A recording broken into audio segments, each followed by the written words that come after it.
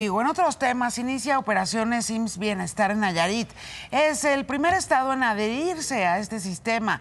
Con esto, las autoridades sanitarias esperan que concluyan las carencias, así como el desabasto de medicamentos e insumos que presentan los hospitales. Al estado llegaron 125 médicos residentes que estarán en 11 unidades médicas. Además, iniciaron operaciones 11 clínicas.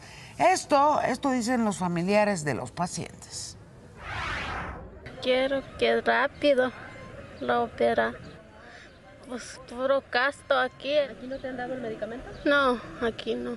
El cáncer pues no lo han tratado. El doctor dice que él no, no, no, se, no se explica cómo no ha fallecido él ya sin medicamento. Y ahorita lo que sigue nosotros es de cómo le vamos a hacer ya que fallezca para pagar lo que, lo que, lo que van a cobrar aquí en el hospital.